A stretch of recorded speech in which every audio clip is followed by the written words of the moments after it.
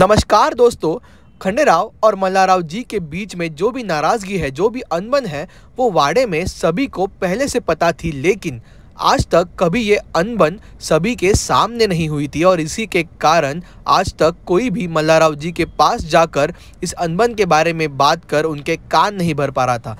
लेकिन जब खंडेराव खाना खाने के वक्त सभी के सामने अपने दिल की नाराज़गी बया करता है, तब गणो जी जैसे लोगों को मल्लाराव जी के पास इस अनबन के बारे में बात करने का और उनके कान भरने का मौका मिल जाता है। जिस जश्न की ज़ोर शोर से तैयारी की गई है, वो जश्न अब होगा कि नहीं, इस चिंता में पड़े मल्लाराव जी अपनी ये चिंता गणो जी के पास व्यक्त करते हैं और गणो जी मल्लाराव जी से कहता है, बड़े सरकार, हमें खंडेराव से ये आशा नहीं थी।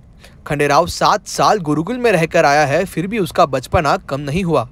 माफ़ करना बड़े सरकार, पर हम खंडेराव पर खंडेराव पर आस लगाए बैठे हैं कि वो उत्तराधिकारी होंगे, लेकिन जो बेटा अपने पिता की भावनाओं को नहीं समझ पाया, वो आगे जाकर राज्य की भावनाओं को कैसे समझ पाएगा? और इतने में वहाँ अहिल्या आ जाती है। अहिल्या को आता देख गुणो जी के चेहरे का रंग ही उड़ जाता है। गुणो जी की ये कुछ बातें सुनकर अहिल्या को ये तो पता चल जाता है कि गुणो जी खंडेराव के खिलाफ मल्लाराव जी के कान भरने का ही काम कर रहे हैं। और इसलिए अहिल्या गुणो जी को कहती है, गुणो जी दाजी, अगर आपको दिख रहा है कि एक रिश्ते में दरार पड़ रही है तो उस दरार को भरने के बजाय आप उस दरार को और बढ़ा रहे हो?